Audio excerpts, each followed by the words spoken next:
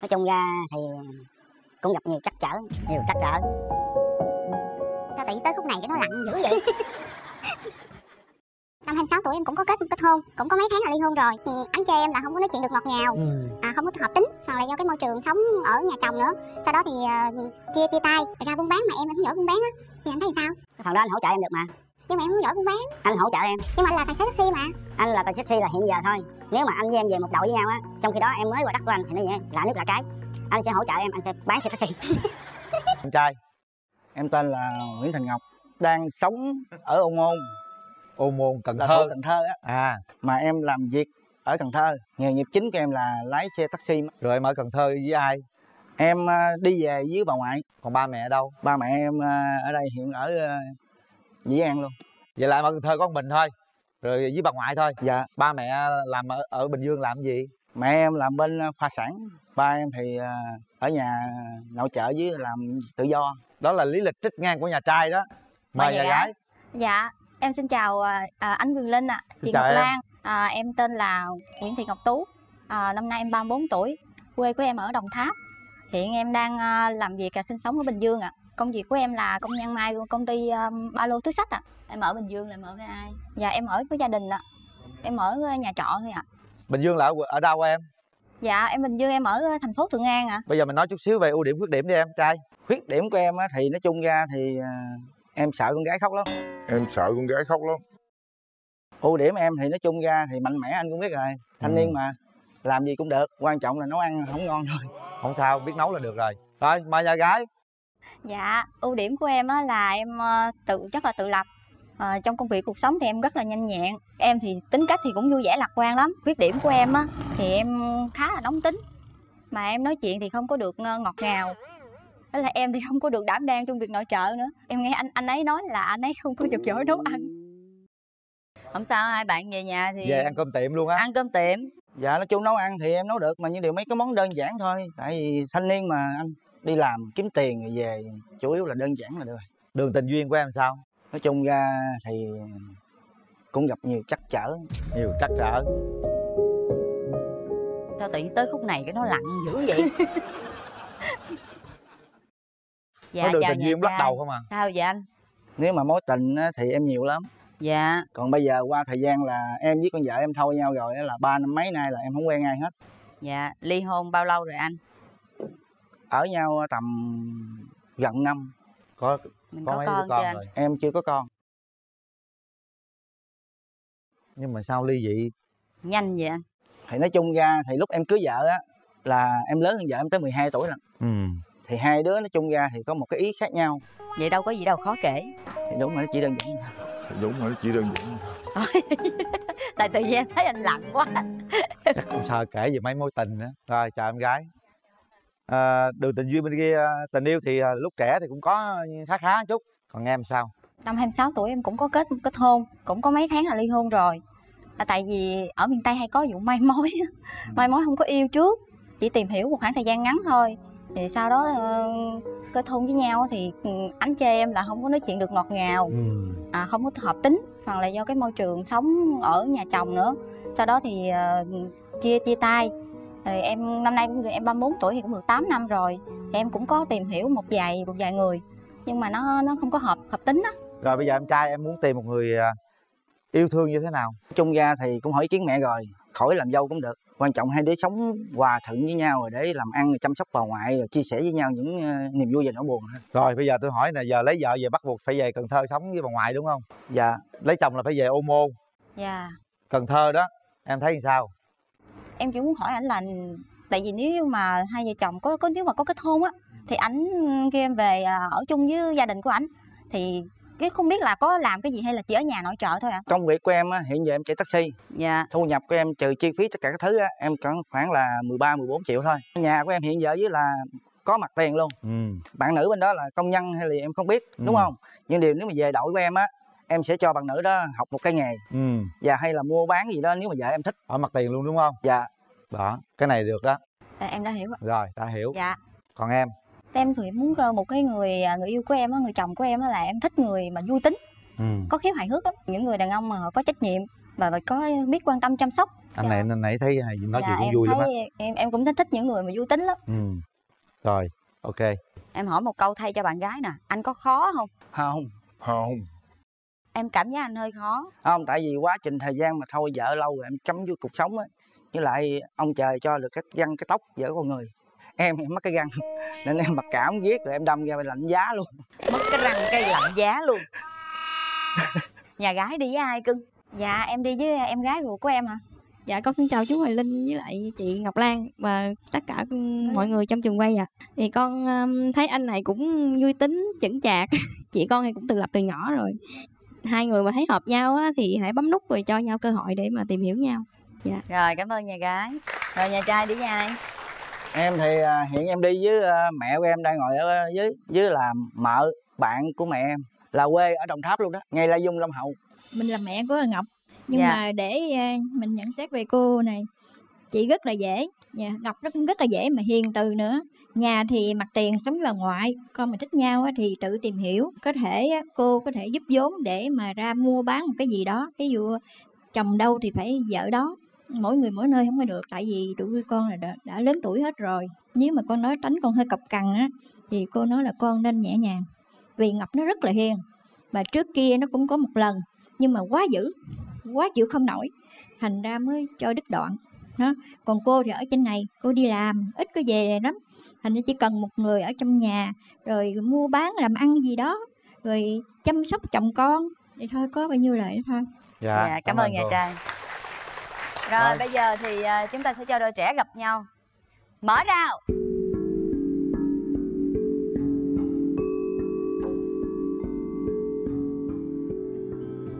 bắt đầu đi ngọc nhân à, ngày đầu tiên anh gặp em anh cũng có bó hoa nhỏ nhỏ để tặng em à, em cảm ơn anh. nha. Em ờ, cũng có ờ, cái chậu cây tặng cho anh. Rồi anh cũng cảm ơn em nhiều. Dạ. Đó hai bạn trò chuyện với nhau đi nào nãy giờ. Như hồi nãy giờ là trao đổi rồi đúng không? Mẹ anh thì cũng chấm em thấy em dễ thương. Thì bây giờ anh cũng muốn hỏi em là quê em đồng tháp là ở thuộc huyện nào tỉnh nào hay là thành phố nào bên đồng tháp em ở tỉnh đồng tháp còn em ở ờ, thành phố hồng ngự. Dạ em muốn hỏi anh là lúc nãy anh của em có nghe anh nói là khi mà ví dụ mình có kết hôn á thì về về sống chung với ngoại.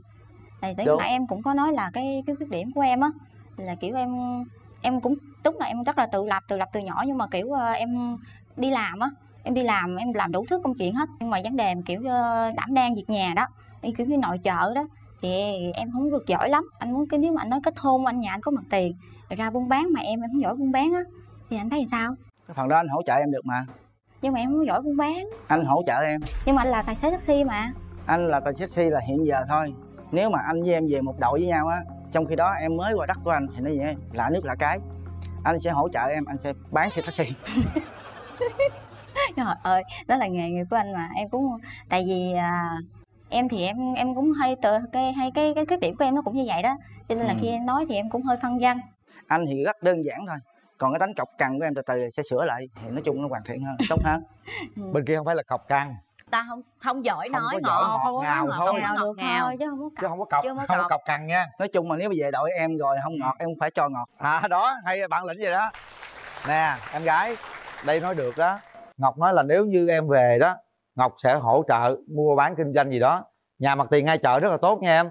Không nhập lo mỹ phẩm gì của chị Lan về bán nè. Ờ. Hiện giờ á mình tự cho, cơ hội với nhau á. Thì bình dương đối với cần thơ á thì nói chung ra là xa cũng không có xa mà gần không gần quan trọng là cái tâm của anh thôi.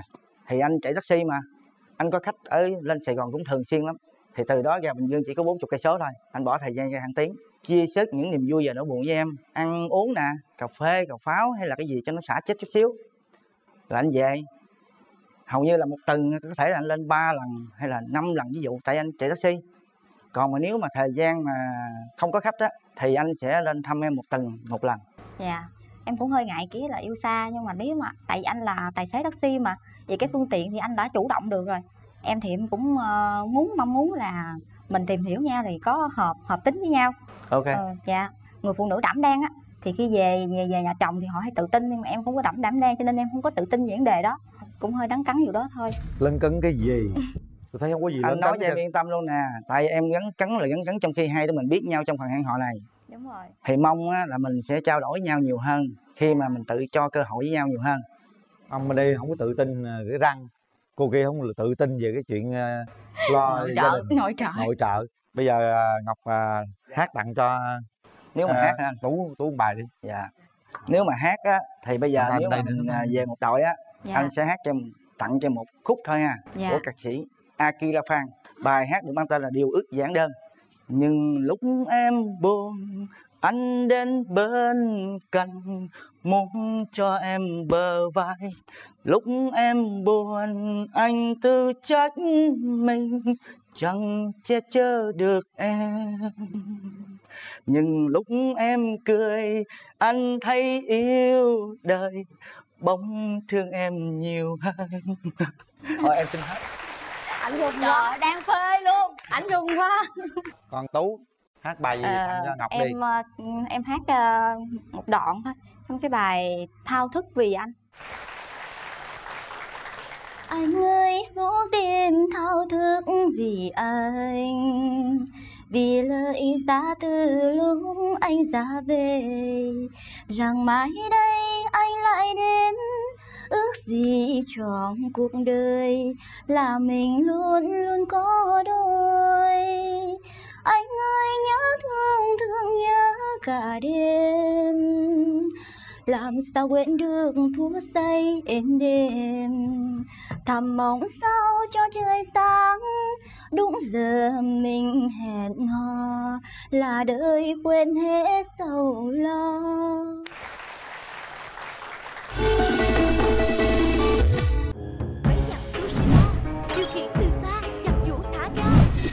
Để tay đây nôn quá rồi anh nôn. quá hả?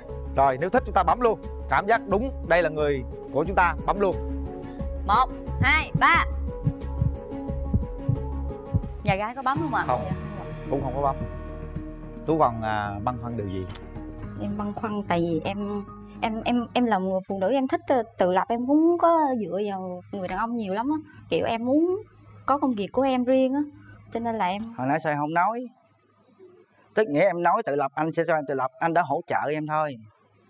Tú ơi đúng không? Nãy giờ anh anh với tư cách một người làm mai làm mối hơn chục năm nay rồi anh thấy ngọc rất là được luôn đó em. Ngọc là người tốt đó nha. Rồi mời em trai giới thiệu về mình.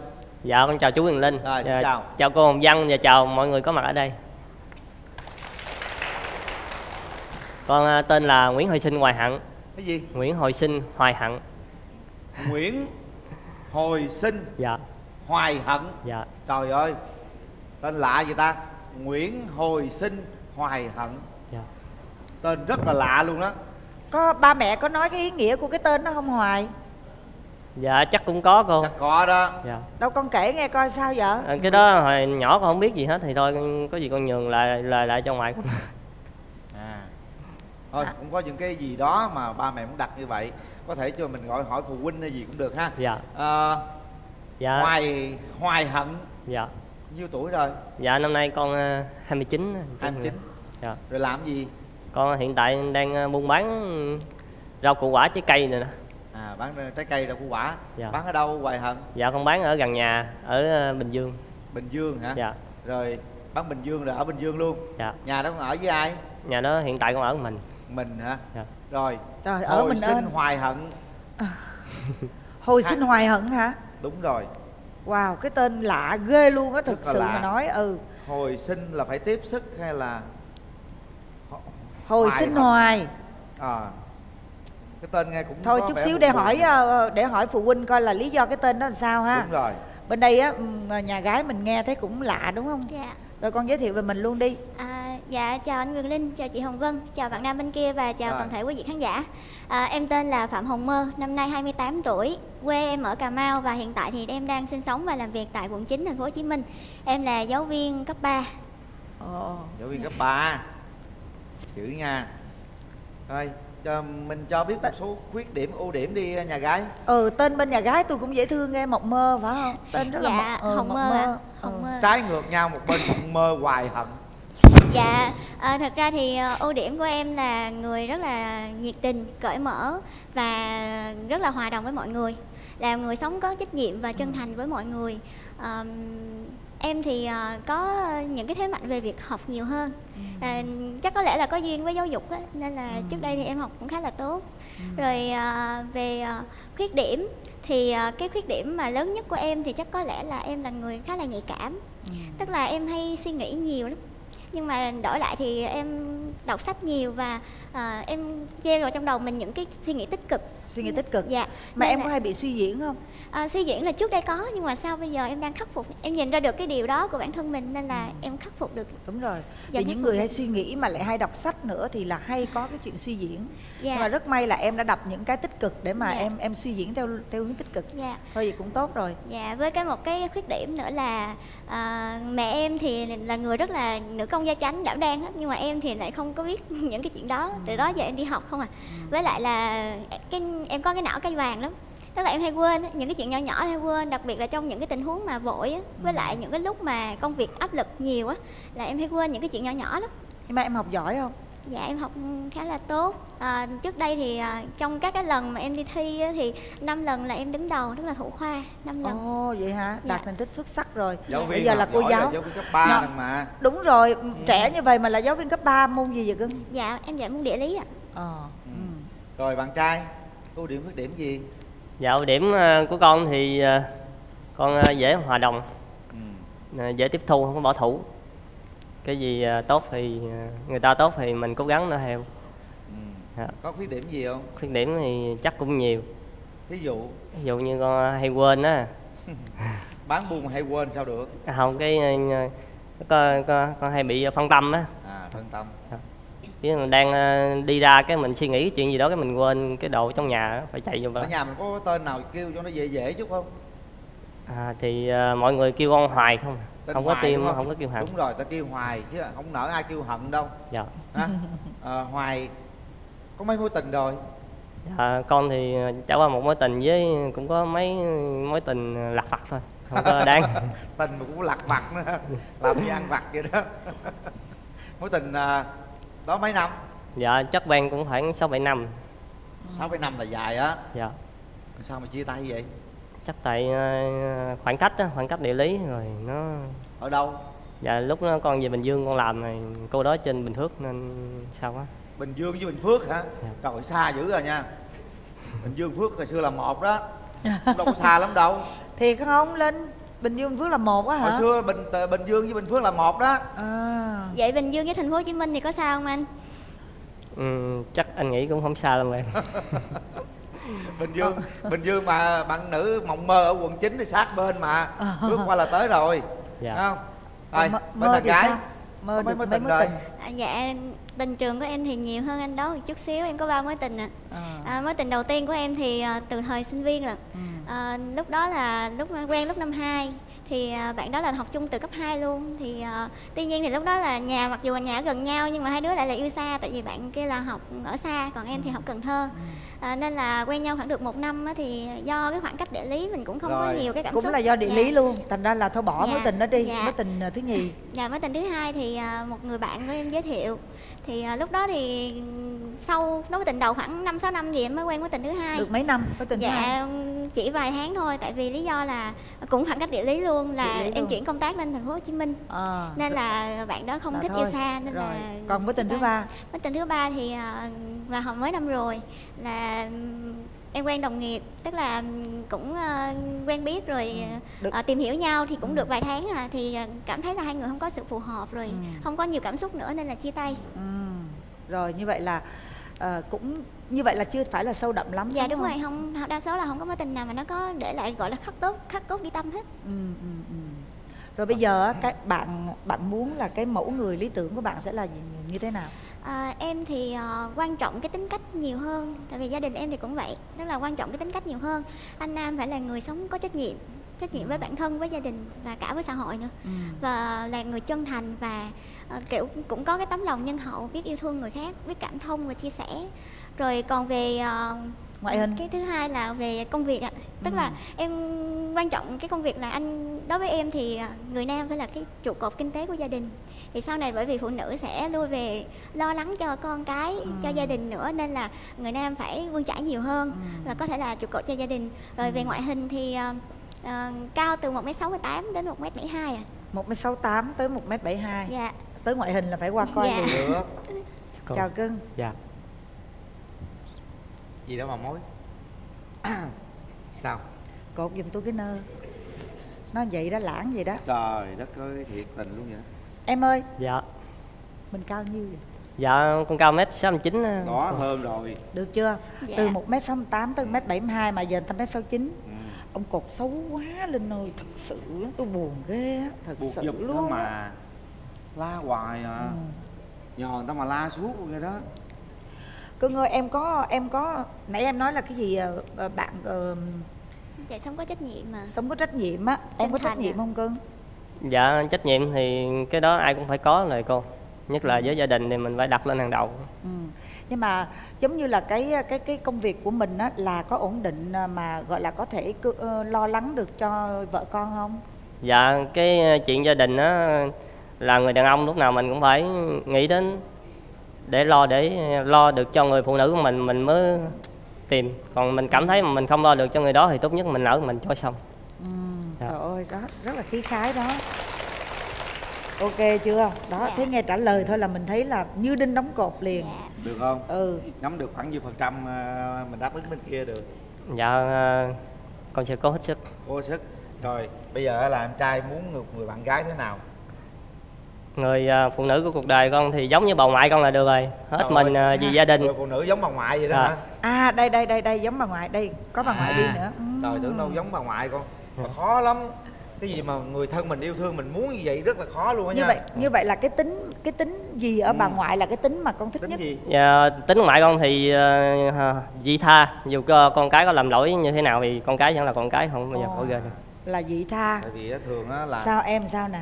dạ em thì rất là dị tha và rất là dễ thông cảm cho người khác à, dễ thông cảm cho người khác thường là cô giáo là là thường là Dạ. có cái tính đó Dạ. Ừ. sao nữa nè chàng trai dạ còn ngoại gì con ở bà thì ngoại mà cưng thích nữa nè ngoại con thì xin gì được đó xin cái gì được cái đó nhưng mà cũng phải xem coi là nó có hợp lý hay không nữa anh. Chứ không hợp lý thì đương nhiên là không cho được rồi. Đúng đó cái này khó nè. Tức là với riêng với bà ngoại thì cháu mình xin cái gì cũng được nhưng mà với người bạn gái thì ừ, xin cái gì thì cũng phải Khó à. suy nghĩ lại chút xíu dạ ha. đúng rồi. Không có đơn giản đâu. Rồi. Không cười luôn kìa không cười luôn kìa. Khó lắm. Rồi gì nữa nè? Ừ, ờ. Con thấy nhiều đó cũng khá là đủ nhiều đó muốn xỉu rồi Nhiều đó, xin gì cho đó muốn xỉu rồi đó. Rồi thôi ờ, coi đàn gái với đàn qua coi. Trời trời ơi. Dạ, ơi dạ. dễ thương. Đó. Coi đàn gái cũng được nói chung đàn trai cũng được hai bên thấy hợp cũng hợp với nhau về khuôn mặt ha. Dạ. về cách giao tiếp bây giờ.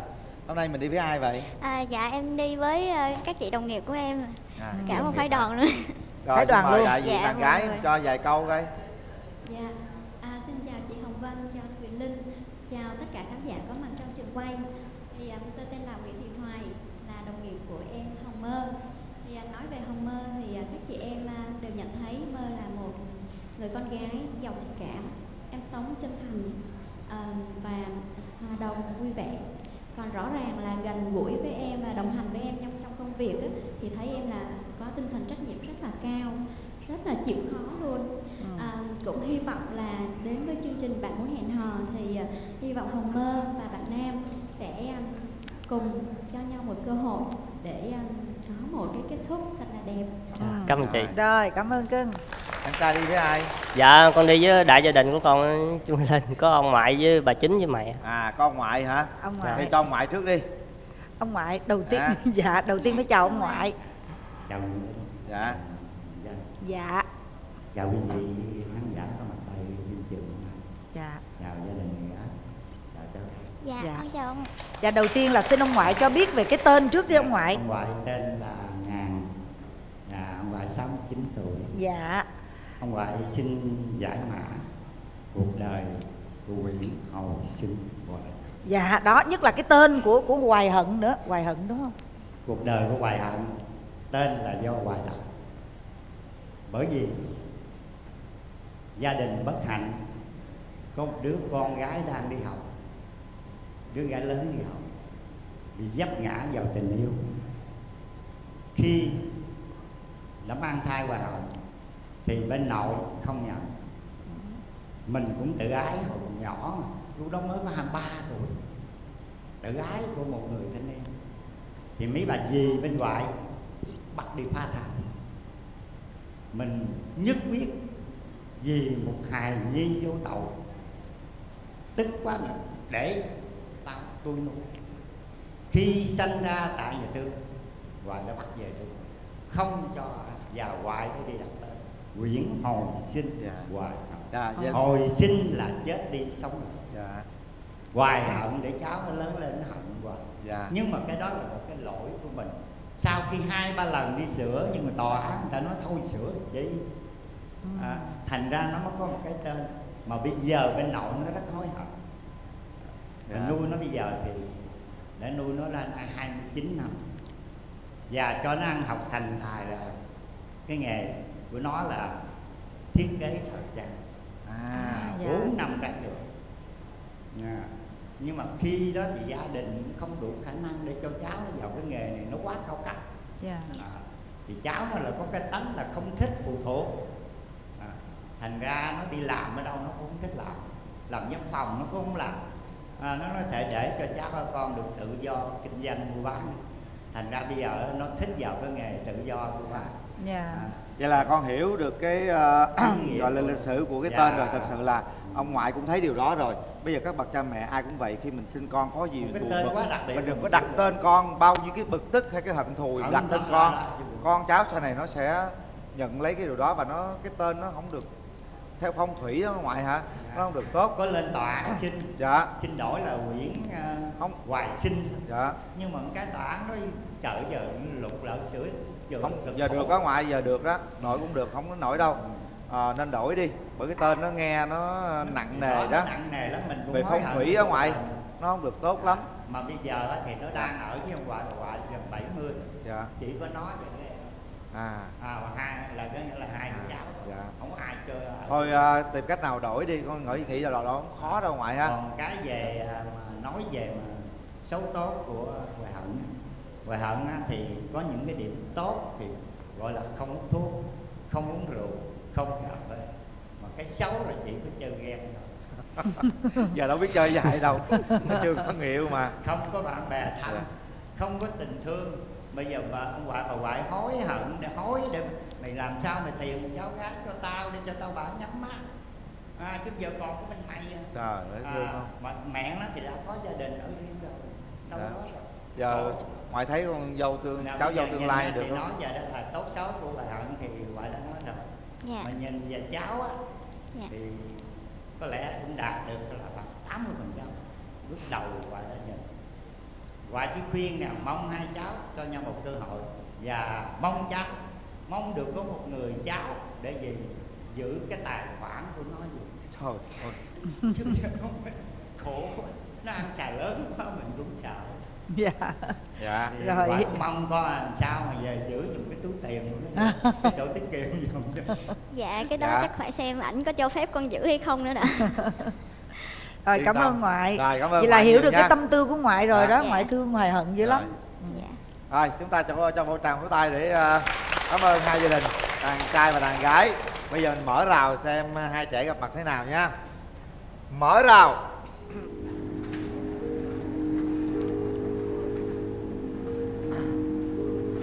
Bắt đầu đi hoài. Dạ.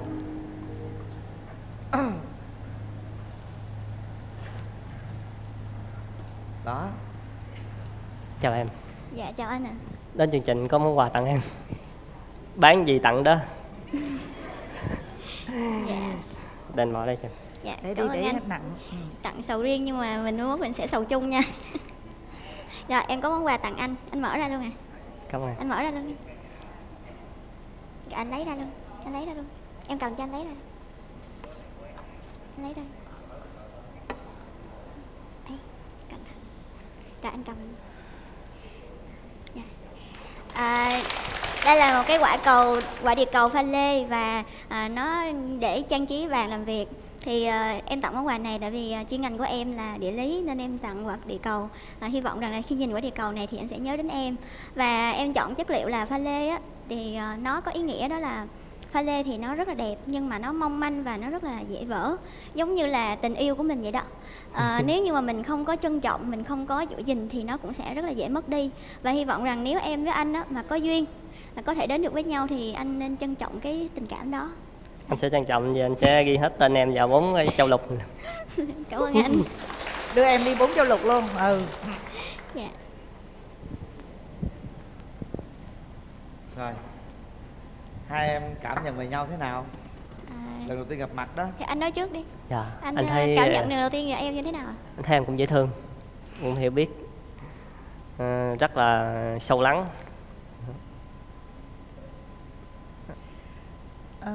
Còn em em gái em thấy uh, nghe cái câu chuyện của hoài hận á, thì cái cảm xúc của em như thế nào khi mà mở rào gặp được uh, hoài hận?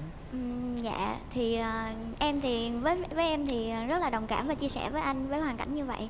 Bởi vì uh, thật ra thì em bản thân em thì gia đình em cũng uh, À, không có trọn vẹn. Bởi vì nhưng mà em may mắn hơn anh là bởi vì em được sống chung với mẹ.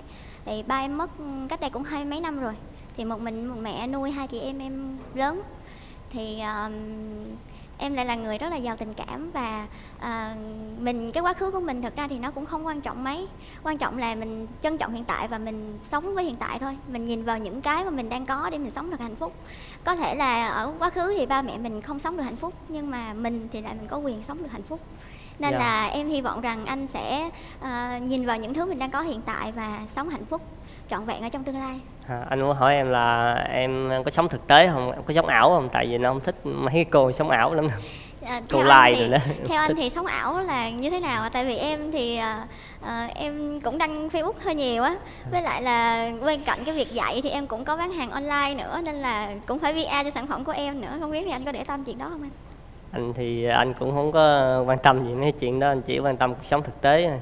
Dạ. À, phút à, phút trước à, nó sẽ như thế nào và tiến tới nó sẽ như thế nào chứ anh không có quan tâm cái chuyện đi lùi. Tại Dạ. cuộc sống bây giờ bắt đầu phải đi tới chứ không ai đi lùi được.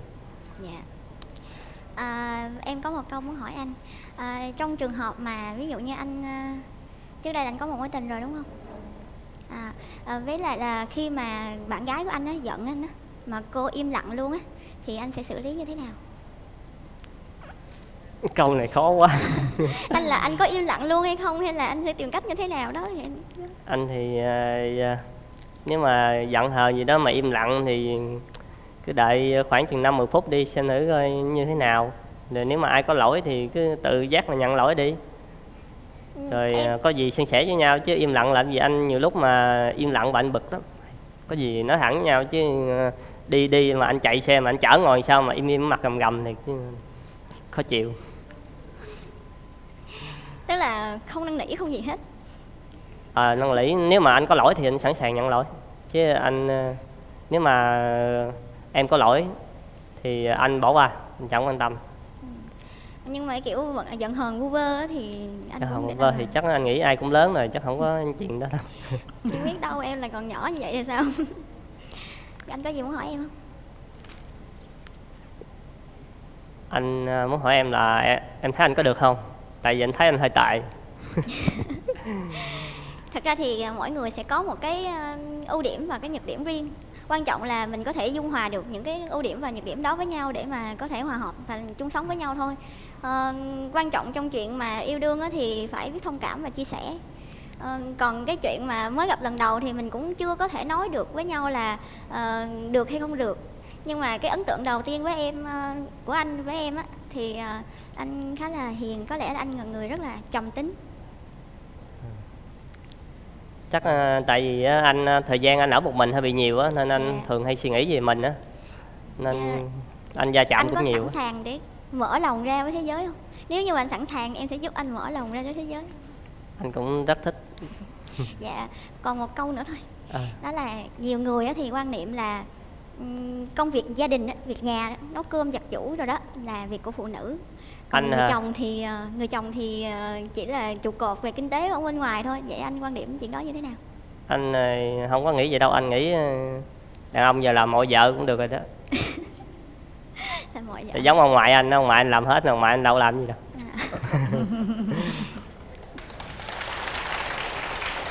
Hai tới ông ngoại ra luôn ha anh có, có gì muốn hỏi thêm em không bây giờ mình hẹn hò sao các bạn? À, em thì ờ, hiện tại mọi người hay nói em là người của công việc. Em rất là bận rất là bận rộn. Em đi dạy từ sáng tới chiều tới tối luôn. Nên là không biết là nhưng mà em vẫn sẽ có dành thời gian. Nếu như mà hẹn hò thì ờ, không biết là anh rảnh thời gian nào. Anh thì n- lúc nào cũng được hết. Tại vì ờ, không có chuyện nào mà quan trọng hơn bằng cái chuyện người yêu của mình á, người đó sống với mình suốt đời. Còn những chuyện khác thì từ từ mình làm được. Dạ chuyện nào quan trọng thì mình sắp xếp trước. Như vậy thì thời gian thường là em sẽ rảnh nhiều vào cuối tuần ha. Hả? dạ. Anh ờ, sẽ đến bên này.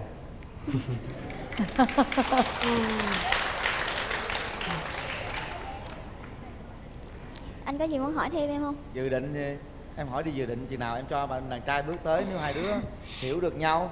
Dạ, ờ, nếu như mà được á, thì chắc là năm sau Năm sau thì không biết là như thế nào ạ? Cũng ờ, không nói được điều gì đâu có có thể sẽ sớm hơn cũng được. Nhưng mà đó đám, đám cưới thì ông ngoại có đồng ý không ông ngoại? Cho xin cái mi của ngoại. Đúng nè à, nói về mà nếu mà ông ngoại đang trong từng giờ từng giây và từng phút. Cưới là ông ngoại cho bao nhiêu bàn? Ông ngoại hả Dạ. nếu mà nếu, quê con đâu? Con kìa Dạ quê con ở đó. Cà Mau ạ. Cà mau hả?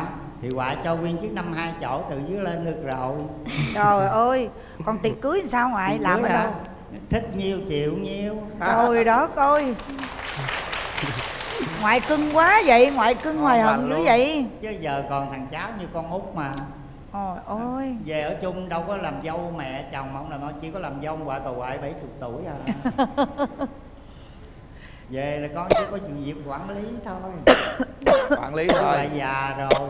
Dạ. Vậy là tốt rồi cảm ơn ngoại nhiều. Trời ơi ngoại cưng quá ngoại cưng hoài hận quá. thật sự em cảm nhận cô gái nãy giờ nói chuyện như thế nào? Con thấy cũng thích. Cũng thích ha? Dạ. Có có cảm tình ha? Dạ. Rồi còn em gái cảm nhận về chàng trai thế nào? Ừm, Dạ em cũng có cảm tình với anh chứ. thực sự Cảm ơn anh này anh thật lắm á. Dạ. Anh không có quen nói những lời ngọt ngào đâu nhưng mà tất cả những lời anh nói đều là thật. Dạ. Đó không có màu mè không có nói sao là vậy? Như đinh đóng cột vậy đó. Em có thể bước tới nắm tay cô gái hát một đoạn nào đó mà mình cảm nhận là mình Hát cái bài nào hay. mình Dạ. thích đi. Phải xin phép. rồi nắm tay cô gái. xin phép mọi người. Chỉ lần đầu gặp em ngỡ như đã quen từ lâu. Chỉ lần đầu gặp em bước chân chợt quên lối về trời ơi bốn câu đủ rồi. Đủ rồi đủ rồi như đó đủ rồi. Dạ thì ờ, để đáp lại cái ờ, bài hát của anh thì em cũng tặng anh một bài hát. Thực ra thì em bài hát cũng không hay lắm, ráng nghe thì cũng được.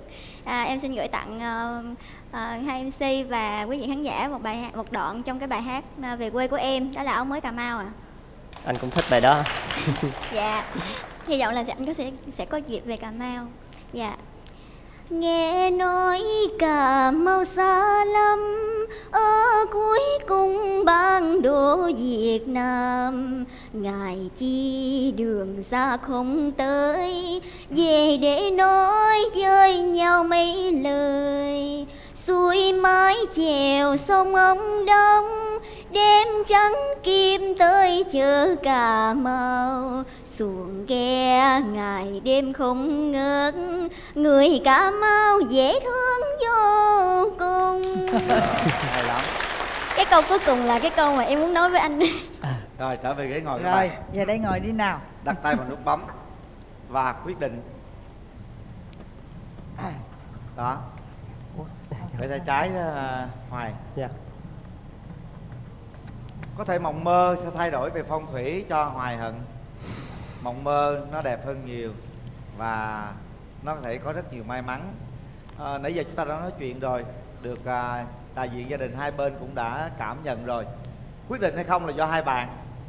Chúng ta cảm nhận đúng với nửa mảnh ghép của mình thì bấm ngay. Còn không nếu cần không đếm phải bấm ngay không cần đếm. Đúng rồi. Còn nếu mà không phải thì không cần bấm. Chứ để nút bấm đó cho người khác. Nào. Một đó, kia kia hận đó, bên kia đó đúng rồi. Hai. Rồi đó. Không cần đếm mà Ba. bấm không cần đếm. Cảm ơn mọi người. Được rồi đó. Nắm tay nhau nào. Chính thức các bạn đã hẹn hò với nhau. Bây giờ xin phép ờ, đại diện ờ, bên đàn gái đàn trai đi cho phép ờ, tụi em hẹn hò với nhau và hứa với hai bên điều gì. Bắt đầu đi hoài. Dạ. Con ừ, em xin hứa. xin hứa với ai vậy ta? Bây giờ đây nè giống như ba má của mộng mơ đang coi truyền hình á em nhìn vô trong đó đi hận nhìn trong đó hận ờ, hứa đi con. Dạ con hứa với đại gia đình của mình nếu mà có thể đến được với em anh sẽ sống hết nửa cuộc đời còn lại dành cho em. Không lãng phí. À, dạ con xin Nói phép với ngoại đi. À, xin phép các ờ, các dì à, con hy vọng rằng là tụi con sẽ có duyên để đi được với nhau xa hơn. Và nếu như vậy thì à, con mong rằng sẽ mặc dù anh vẫn là hoài hận nhưng mà à, cuộc cái tương lai sau này của anh sẽ toàn màu hồng thôi.